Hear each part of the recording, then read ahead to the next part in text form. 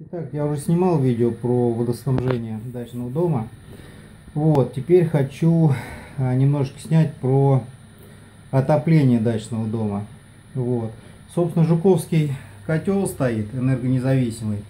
Ставили специально, так как если есть перебой электроэнергии, то, собственно говоря, все начинают бегать там, а, перезапускать котлы и так далее.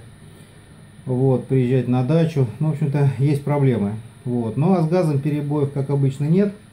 Как правило, нет. Вот. Поэтому, собственно, котел работает себе и работает. То есть независимо от а, погодных условий, электричества и так далее.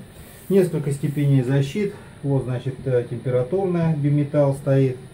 А, здесь от перегрева пару защит, ну и так далее, в общем-то. Это можно все прочитать а, в инструкции на котел. Котел двухконтурный.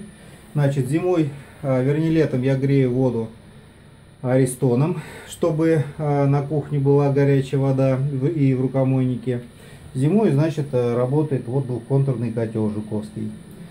А, значит, что касается отопления, а, дом двухэтажный с подвалом, значит, и, и соответственно, принудительная система циркуляции.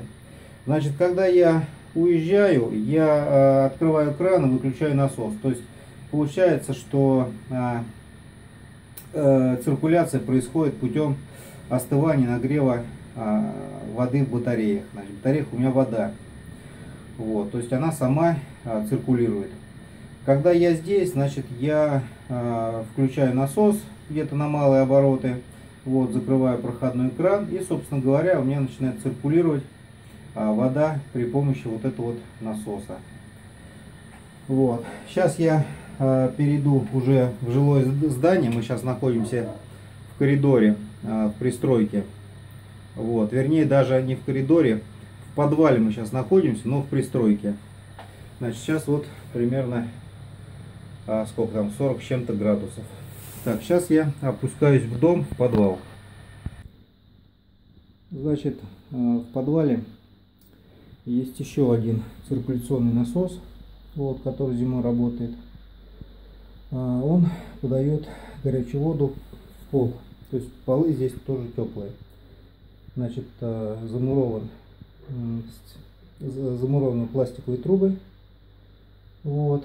И, собственно говоря, пол постоянно теплый зимой. То есть очень хорошо дает тепло именно пол. Так, переходим дальше.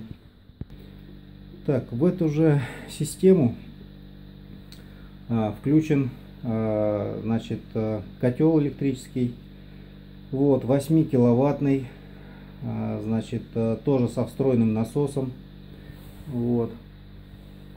Сейчас я покажу. Он постоянно находится в ждущем режиме. То есть если по какой-то из причин значит газовый котел перестанет поддерживать температуру или температура понизится или вообще котел заглохнет вот, то включится автоматически а, значит вот этот электрический котел и собственно будет поддерживать а, температуру в батареях. Ну я не могу сказать что будет жарко в доме просто чтобы она не замерзла. Вот то есть собственно говоря до моего приезда там или до подачи опять газа. В общем как-то так.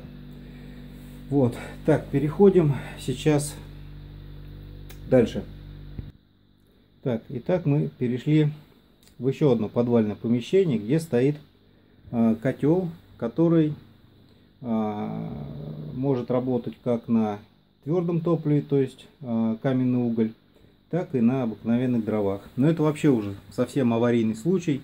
То есть если нет ни света, э, ни газа, короче ничего нет, вот, э, значит мы можем растопить вот этот котел. Также здесь он может работать и с насосом, который будет э, довольно-таки быстро циркулировать вот, воду в системе. Также можно работать и без насоса. Вот, вода будет сама, ну, немножко помедленнее, конечно. Вот, то есть основные комнаты все будут теплые. Вода, опять же, не замерзнет. Вот, собственно, он у меня постоянно набитый. Вот, дровами и бумажками. То есть только чиркнуть и, собственно говоря, котел запустится. Вот. Ну, естественно, наверху надо сходить еще открыть трубу. Значит, вентиляция есть а, на улицу и сверху, и вот дырочки а, в это самом в опалубке тоже выходит на улицу. Здесь вот еще. Сейчас в системе 40 с чем-то градусов, так же как и, наверное, не поймаю я. Да, не поймаю. Такая же температура, как и на котле на газовом. То есть вся система находится а, под теплой водой. Вот, поэтому нигде нет конденсата, дрова сухие. И, собственно говоря, везде все сухо. Спасибо.